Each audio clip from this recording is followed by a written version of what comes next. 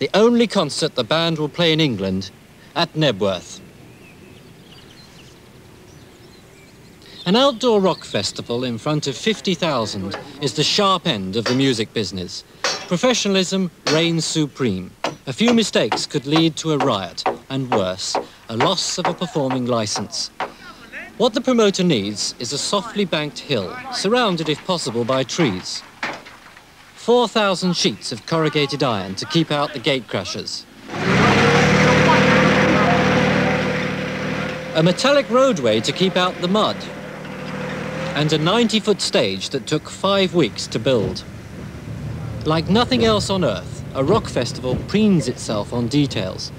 It isn't very often 10 coin box phones are requested for the middle of a field.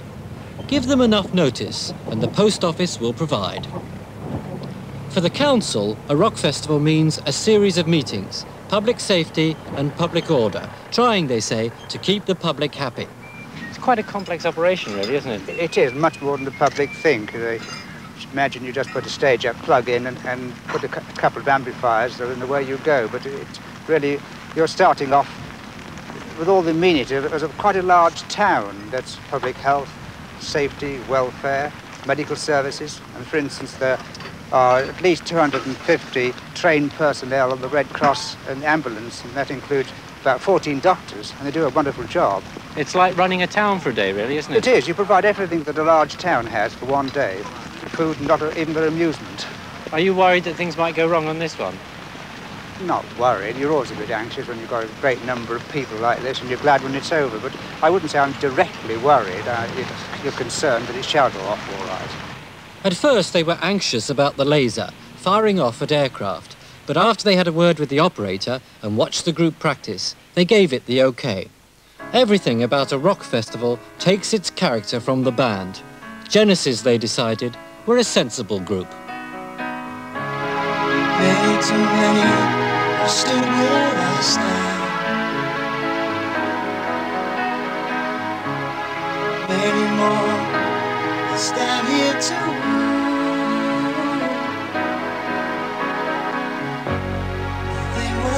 Strange is the way you built me up and knocked me down again.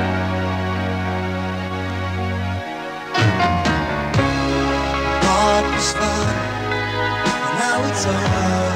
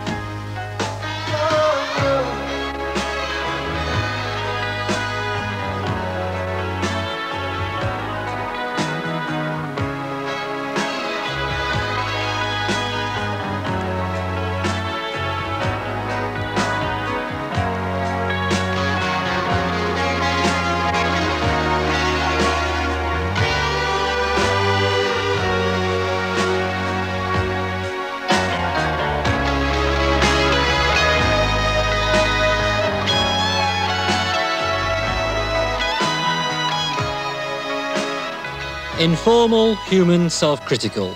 Three normal people in an extraordinary business. The kind of group that take their wives and children on tour with them.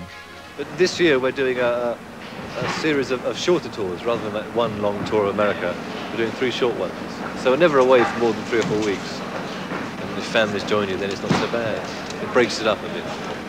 How much of your life do you actually spend on the road? How much of my life? Uh, I reckon I've been, I'm told about six or seven months of the year, but it never actually feels like that uh, because it's split up quite a lot. You know, I mean, I, have been playing in professional bands since I was about 14, so I mean, I've, I've, been on the road quite a while.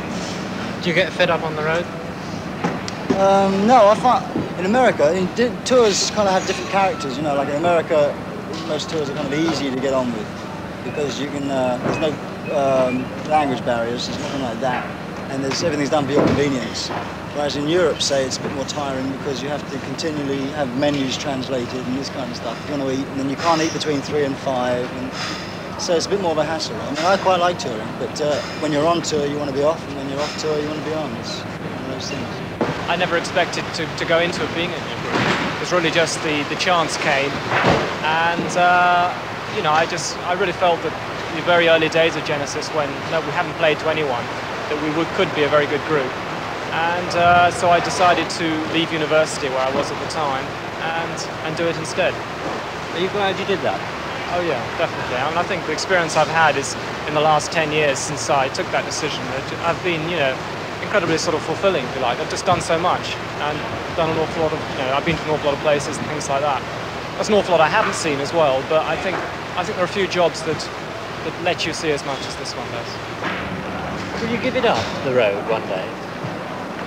Well, yes, as, as like this, I think. I mean, I, I, I don't really want to play these big concerts too many more times. I mean, this is like Knebworth, for instance, is, is something different because it's such a big thing.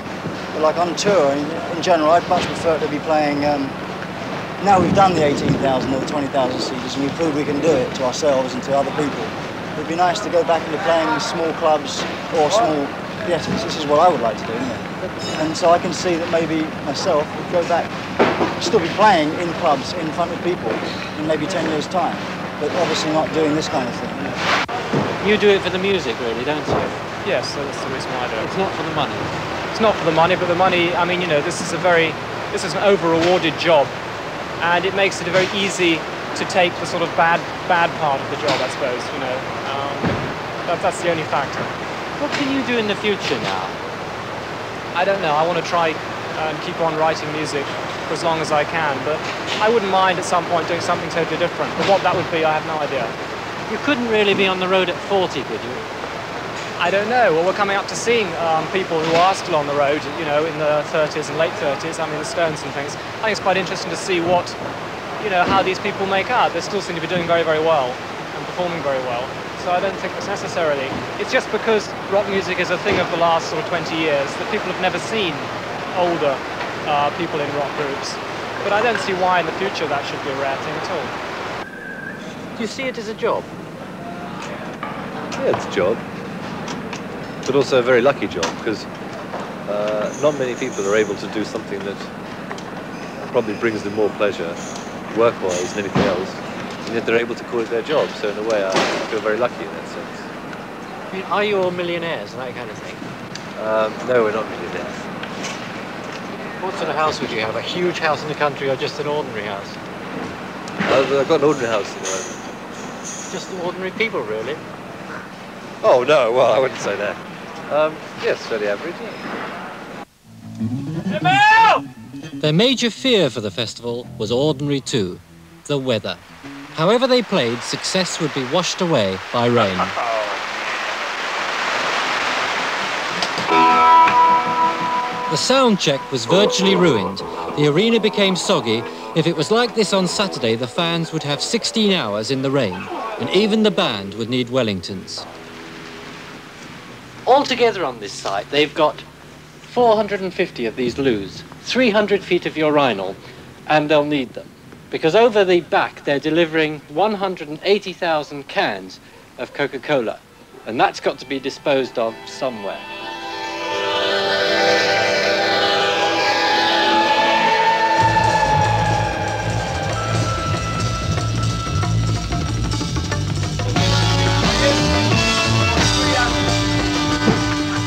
The statistics of a rock festival are intimidating. 25,000 sandwiches, a seven-ton lorry load of meat pies and sausage rolls, two Arctics full of tea and coffee, a truck of sweets and ices from Bristol, 20 ice cream stalls and a 50-outlet catering service. By Friday night, the gently sloping field looked like Brighton before a sunny Saturday, and the promoter was calming down. Do you know how much money you will make when the whole thing is added up? That's, that's a great question to ask me. No, I'm afraid I don't. At the moment, I, I mean, uh, as you can know, you probably don't see because you've just really come in at a fairly quiet moment. But um, things escalate all the time. You know, uh, backstage, our requirements because of the rain uh, means we, we need all sorts of extras, and these add to the cost all the time. Is there a chance you could lose money? Um, Not really, I don't. uh, I don't know. It's um, again on this particular concert. I think we're reasonably in, in good shape there. But um, w- w- when you have rain and additional problems and additional expenses, certainly that's one of the uh, times when you could. Why do you do it? To make a living, I suppose, is, is, is uh, should be the, the, the obvious thing to say, but probably because it's a challenge. Um, it's quite a sort of uh, an exercise, which I like to think I do well, and I like to think I can do better each time. No one, probably not even Freddie Bannister, could say for certain how many would actually come to the festival. But already, a whole day early, a compact village of tents had assembled outside.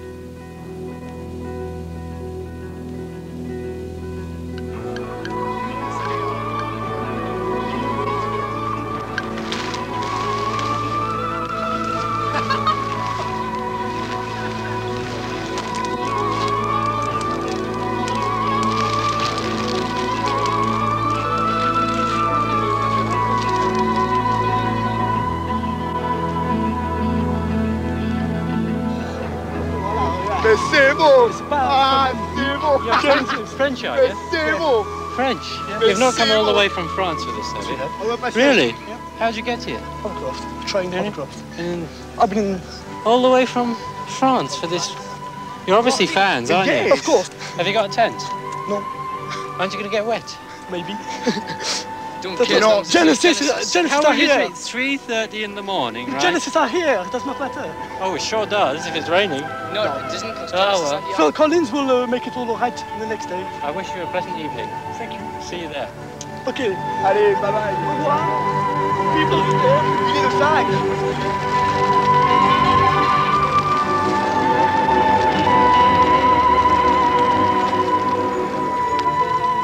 The campsite bedded down like an army the night before battle. Alarms were set early. First in would get the best patch of grass.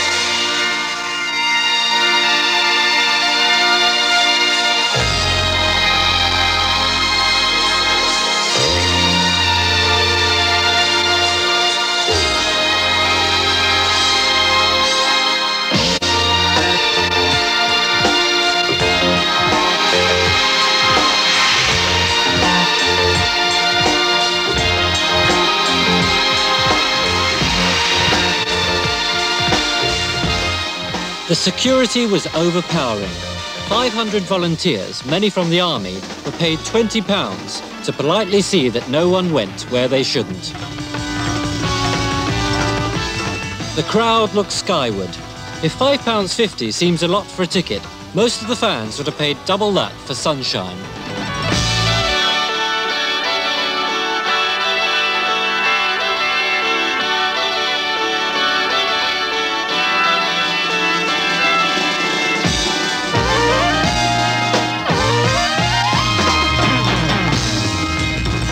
There were headaches and migraines, asthmas and fractures, cuts and burns, and epileptic fits.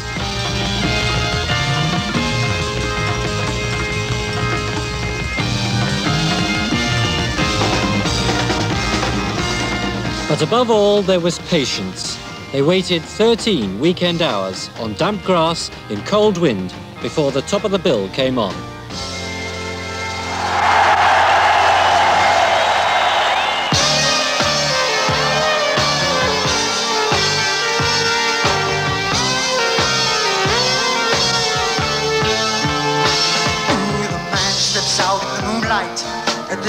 Of a scream from below.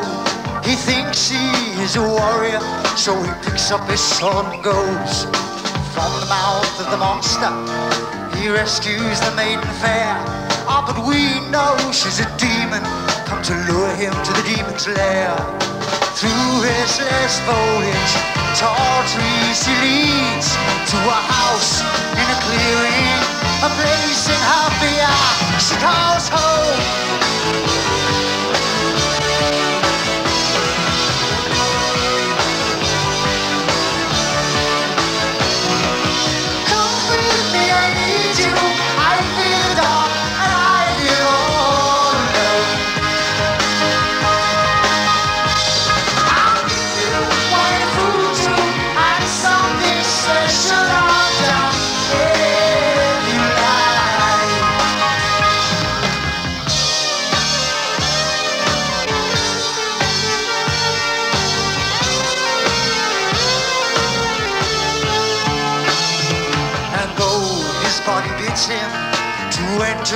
With her, there was something in her manner that his mind could not ignore.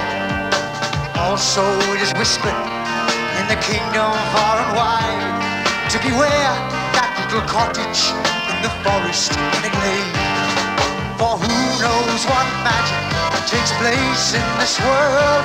So we just thank so kindly, preparing to go on his way.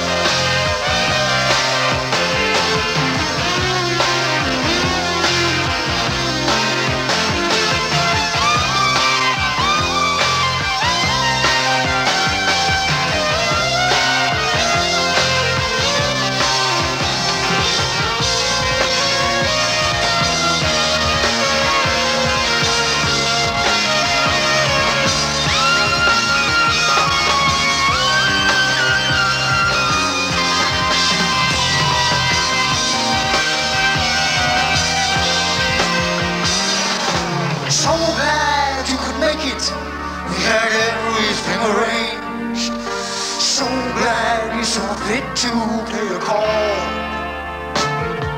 Some men never listen, and others never learn. But why this man did as he did, only he will ever know.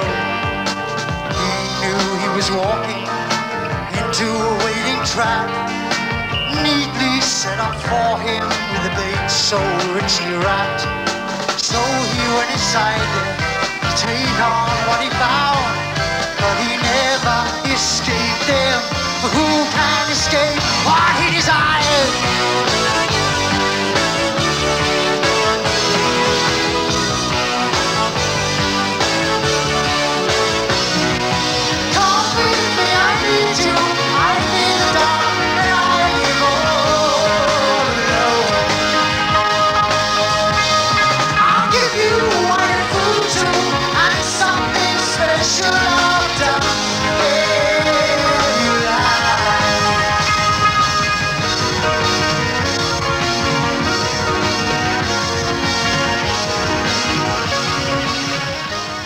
Within an hour, five weeks of planning will have come to an end.